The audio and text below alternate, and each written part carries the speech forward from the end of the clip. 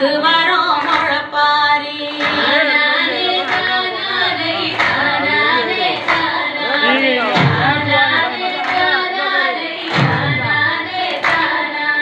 காத்து மட்டும் வந்து போகும் கட்ட பொம்மை கோட்ட போல.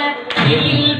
பட போல நடுவினி